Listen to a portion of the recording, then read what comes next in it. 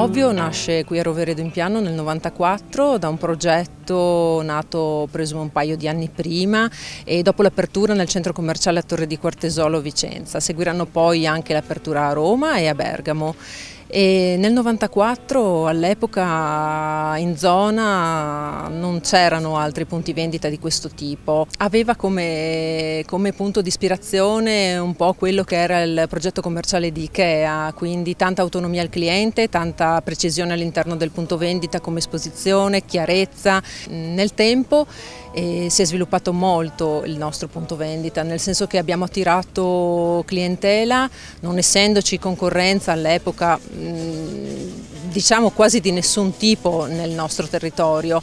E riuscivamo ad attirare persone da Trieste, da Gorizia, da Udine, quindi tutto il Friuli Venezia Giulia era assolutamente attirato da, da, quello che noi proponevamo. Riuscivamo ad avere clienti anche dalla vicina Slovenia, addirittura a volte anche dall'Austria e per non parlare di tutto il, il Veneto, quindi Venezia, Treviso, Padova soprattutto, anche Belluno. Abbiamo continuato a mantenere questo mh, rapporto con i clienti del Triveneto anche in, nel, nel, corso del tempo, ma ovviamente con l'apertura anche di altre realtà mh,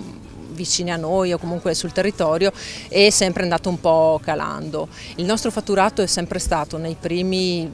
9-10 anni sempre in crescita, non abbiamo mai avuto mh, variazioni al ribasso. All'inizio c'erano gruppi di persone che studiavano quelle che erano le tendenze, sia per quel che riguarda l'arredamento che per quanto riguarda l'oggettistica, sia per quel che riguarda forme, colori, materiali. Eravamo sempre assolutamente in, eh, non in tendenza, facevamo la tendenza perché venivano tutte eh, nozioni prese dalle fiere, insomma c'era una, una grossa una grossissima attenzione a tutto quello che era eh, creare aspettativa nel cliente e diciamo coccolarlo, farlo, farlo sentire sempre al centro dell'attenzione anche da questo punto di vista.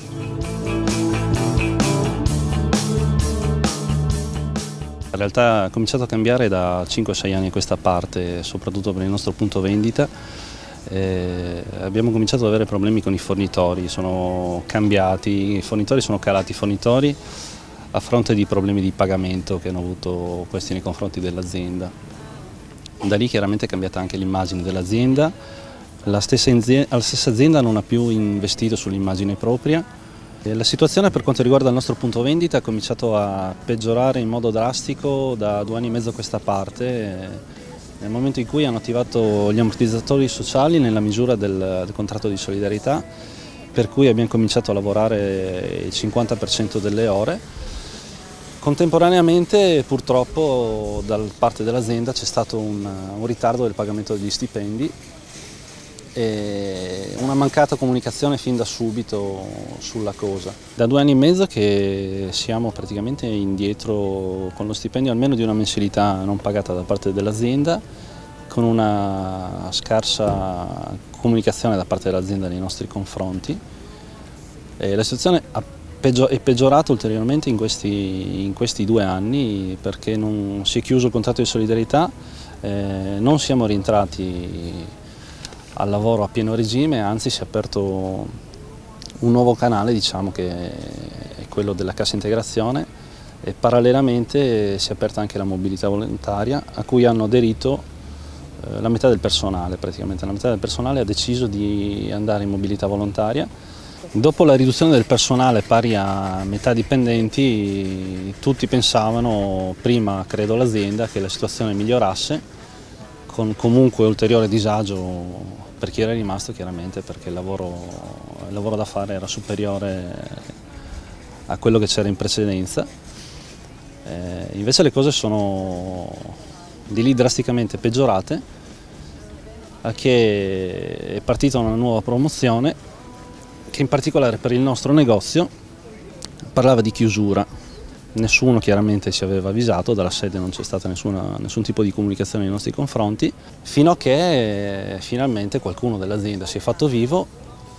ammettendo che c'era questa idea di, di, chiusura.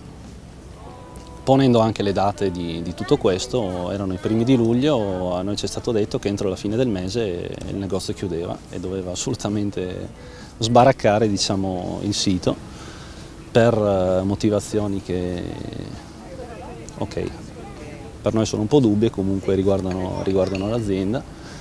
La comunicazione è stata sempre poca, non c'è stato modo nemmeno di trattare per quanto riguarda una,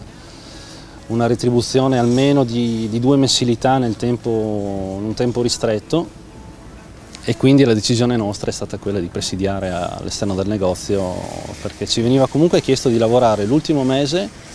della svendita non essendo retribuiti al che non, non, abbiamo, non abbiamo, assolutamente accettato e, e, ora siamo in questa situazione qui. Comunque aspettando che, che si risolva un po', si sbrighi un po' la matassa e che arrivino nuove comunicazioni da parte dell'azienda.